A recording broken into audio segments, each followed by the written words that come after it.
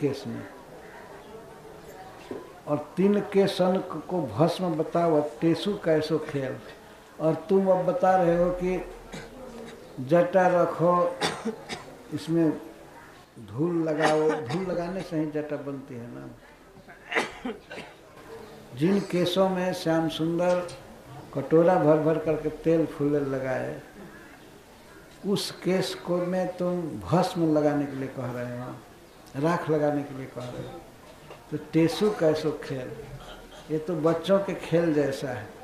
बच्चे कभी कभी टेसु का खेल खेलते हैं, घर बनाते हैं बालू का कुछ, और इसके बाद लता लुती करके ख़त्म कर देते तो खेले होंगे सभी लोग प्राय खेल। घर से बालू से घर बनाते हैं, और लास्ट में स्वयं ही नष्ट कर देते हैं। घर जाने से पहले लाता लुती सब लात से ही मारते हैं। उसको टेसू का खेल कहते हैं। ये तुम टेसू का खेल समझे हो। जिन केसों का हमने इतना श्रृंगार किया, तेल डाला, फुलेल डाला, श्याम सुंदर समारे, और इसको तुम भस्म लगाने के लिए बोलते हो। तुम अबलाओं के विषय में इतने अज्ञ हो। कहीं स्त्रियाँ जोग करती हैं ये जाकर के मथुरा में सिखाओ पुरुषों को,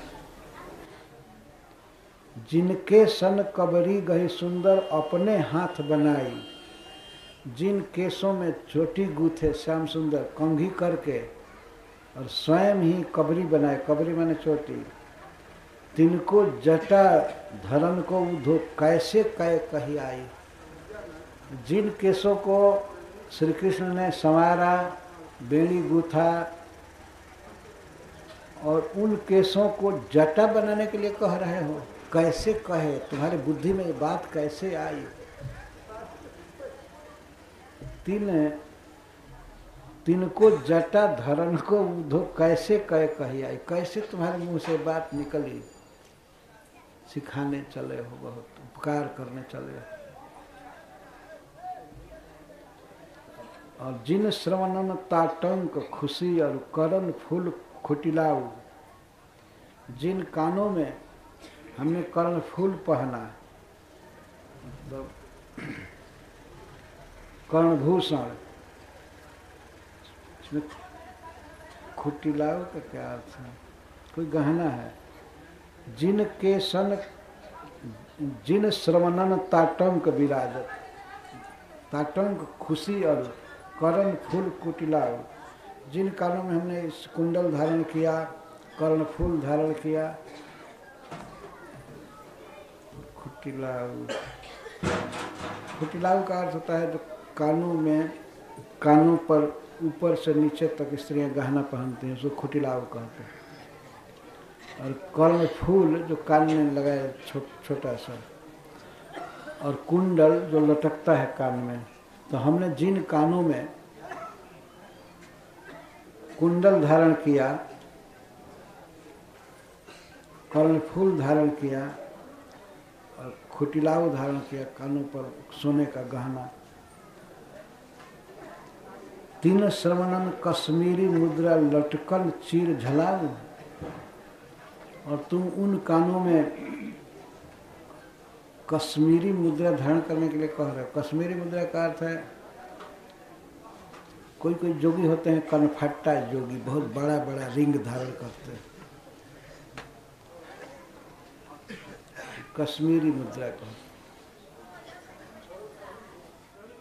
तुम जोगी बनने के लिए और फटे कान वाले जैसे जोगी होते हैं, जहाँ तहाँ मांगते रहते हैं, ऐसा बनने को कह रहे हो चीर झलाऊ और चीर पहनने के लिए, वस्त्र पहनने के लिए कह रहे हो, झोल पहनने के लिए कह रहे हो। झलाऊ झलाऊ मैंने जो झूलता रहे। कभी कभी कोई कोई कंबल लेते हैं और कंबल को ही सिला करके बस वो कंबल लटकता रहता है। और यहाँ तक बाँह होती है। कंबल ही ढोए चलते हैं। बड़ा आसानी का काम है साधुओं के लिए। केवल कंबल के दोनों तरफ़ सी लेते हैं और बस कपड़ा कुर्ता हो गया। जितना बेढंगा कपड़ा पहनना होता है, कुछ लोग कुछ लोग पहनते हैं। और झोकर झलाओ तुम वस्त्र बता रहे हो कि ऐसे वस्त्र पहने? भाल, तिलक काजर चखनासा, नकबे सरी नथ फूली। हम अपने सिर पर सौभाग्य का तिलक की करती रहती थी और चख, काजल और आँखों में काजल लगाती थी। नाक में नकबेसर लगाती थी, नथफोली लगाती थी। नकबेसर जो नाक के पास लटका रहता है और नथफोली मतलब नाक में जो फूल लगाया जाता है। ये लगाई हैं। ते सब तजी हमरे मिलन को उज्जवल भस्मी खुली और ये सब छोड़ करके अब तुम उज्जवल भस्मी लगाने को कह रहे हैं।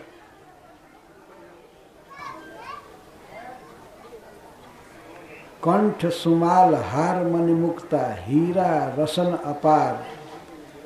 ताहि कंठ बांधवे के हित श्रृंगी जोग सिंगार। हमने अब तक केवल माला धारण की है और मणियों की माला लगाई है, मुक्ता धारण किया है, हीरा की हीरा का चेन पहना है, सिकरी। और ऐसे कंठ में तुम श्रृंगी धारण करने को कह रहे हो। श्रृंगी मतलब सिंह से बना हुआ कोई चीज़। जोग का श्रृंगार करने को कह रहे हैं, जिन कंठों में हमने क्या क्या धारण किया, उन कंठों में तुम हाड़ धारण करने को कह रहे हो।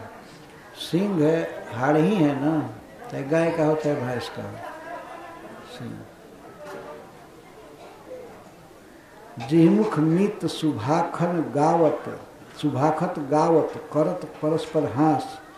तामुख मौन गहे क्यों जीवे घूटे उरद श्वास जिन मुखों से, जिस मुख से हम अपने प्रियतम के साथ बात करती थी, गाती थी, परस्पर हँसी करती थी, और उस मुख को कह रहे हो कि मौन हो जाओ, हम बिना बोले कैसे जिएँगे? तामुख मौन गहे क्यों जीवे? घूटे उरद श्वास और सांस को और दीर्घ करके घुटने के लिए कह रहे हो, प्राणायाम करने के लिए कह रहे हो। पर हम लोगों को देख करके तुमको बात करनी चाहिए ना कि क्या इनकी विधि है, किस तरह से कृष्ण से प्रेम करती। तुम हम लोगों को जोग मत सिखाओ।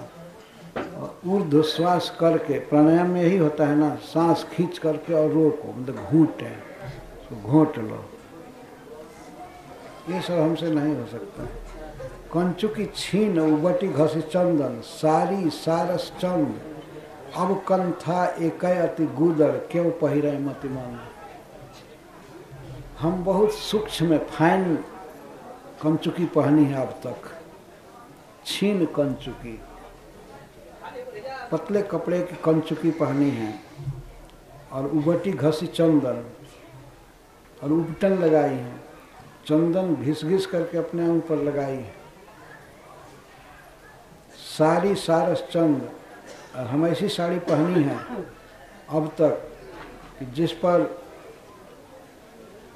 कमल का फूल बनाया गया था और चंद्रमा का चित्र बनाया गया था।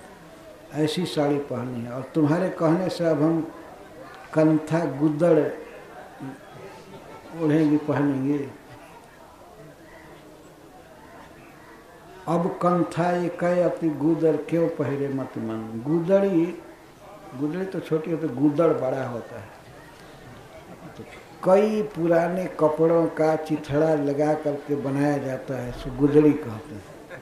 कोई नया कपड़ा तो एक बीता भी नहीं होगा। जितना पुराना कपड़ा,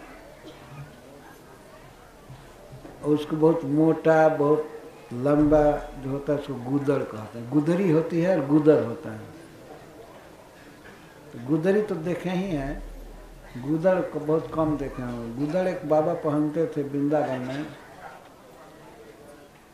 एक बार गुदड़ को निकाल करके वो ट्रेन में रखे थे एक जगह। तो टीटी पूछा, इतना भारी क्या चीज़ है आपको? इसका दाम देना पड़ेगा। भारी था तो उसका दाम देना पड़ेगा। तो बाबा उनका क्या नाम था? वो बाबा उनको निकाल करके पहन लिए कि हमारा पोशाक है। तो मान लो कोई वज़न में एक सौ से ज़्यादा हो तो उसका ज़्यादा भाड़ा लोगे? ये तो हमारा पोशाक है, अब क्या भाड़ा लोगे? वो तो चकित हो गया, टीटी देख करके। ये इनका पहनाव है, गुदड़ था वो। घर घर में गुदड़ी तो होती है, लेवा जिसको कहते हैं, गुदड़ी वही है। हमें क्यों पहने? हम बहुत सूक्ष्म कपड़े की फाइन कपड़े की चोली पहनी है, चंदन लगाई है। हमारे साड़ी पर, हमारे साड़ी पर हमेशा कमल और चंद्रमा का फूल बना रहता था। अब हम क्यों बोले? उधो उठो सबय पाला गए। सब लोग प्रणाम करते हैं। यहाँ से उठो और जाओ, भागो। उधो उठो सबय पाला गए। देखो, ज्ञान तुम्हारो। तुम्हारा ज्ञान देख लिया।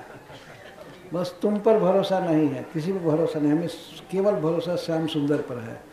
सूरदास मुख बहुरी देखी हैं, जीजो कान हमारो।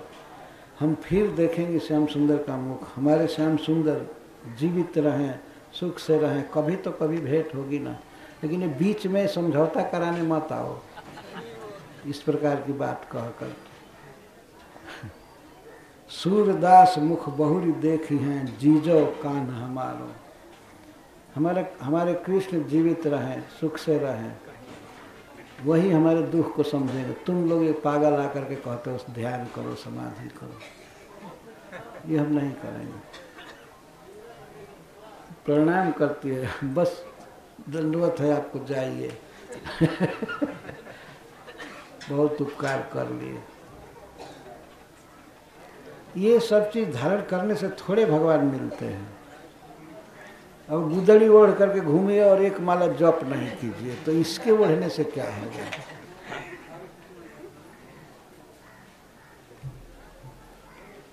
कमंडल बहुत भारी ले लीजिए और कमंडल भारी लेकर के और उठिए आठ बजे।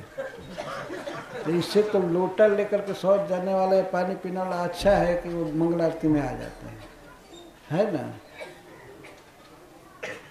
भारी त्रिशूल उठा करके चलना और क्या क्या बहुत भारी तिलक चौड़ा चौड़ा इससे थोड़े भगवान में प्रेम होता है। गोपियाँ प्रकारांतर से भक्ति विरुद्ध योग पर आक्षेप कर रही है। और वास्तव में गोपियाँ क्या कर, कर रही है? सूरदास जी सब कर रहे सूरदास जी महाभागवत कृष्ण प्रेमी थे तो वे इस तरह से भक्ति से विरुद्ध बातों को खंडित कर रहे हैं। और प्रीचिंग करने आए हैं मथुरा से उद्धव जी। ध्यान करने के लिए कहा तो सब गोपियाँ कहती हैं, बस बस, तुम्हारी बुद्धि का पता लग गया। तो प्रणाम करती हैं सब लोग, अब यहाँ से जाओ। अब हमारे प्रियतम श्याम सुंदर से ही जो होगा, सो होगा, बस। वो जीवित रहें, वो सुख से रहें, बस यही प्रार्थना है विधाता से। तुम तो जाओ, तुम तो हमारा कर दिए उपकार। हरे कृष्ण, जय श्री